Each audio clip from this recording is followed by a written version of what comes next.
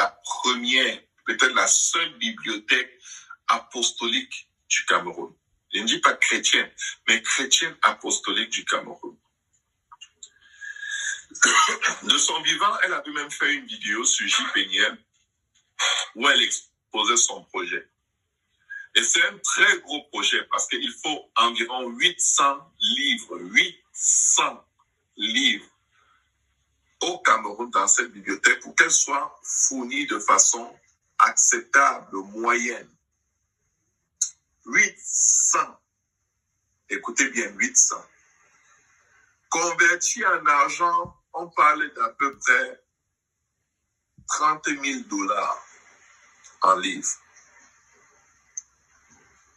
30 000 dollars en littérature chrétienne. Elle n'avait pas cet argent, nous n'avions pas cet argent. Mais on s'est levé il y a quelques jours.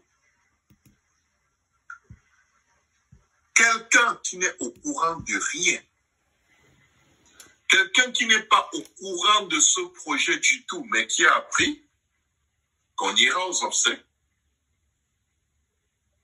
nous offre, sans savoir qu'on a le projet de la bibliothèque, 44 livres neufs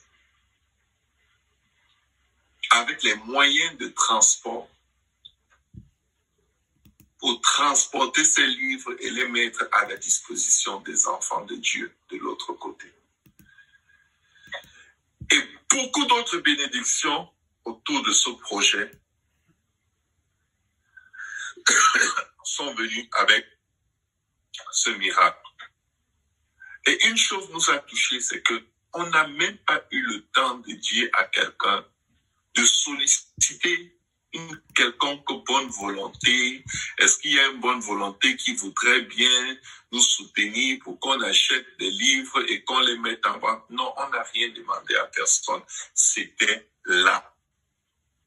Disposé immédiatement. Allez m'expliquer.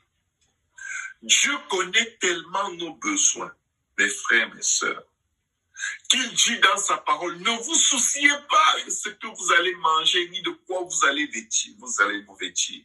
Ce sont les païens qui se soucient de cela. Ne te soucie pas de qui sera ton mari ou qui sera ton enfant ou où est-ce que tu vas travailler. Dieu te dit ça, c'est des, c'est des païens. Cherchez premièrement le royaume et la justice de Dieu. Quand nous allons dans le somme